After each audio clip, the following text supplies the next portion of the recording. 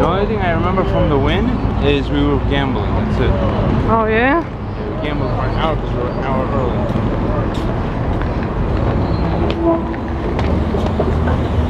Beautiful. These are my beautiful toes. This is my outfit of the day.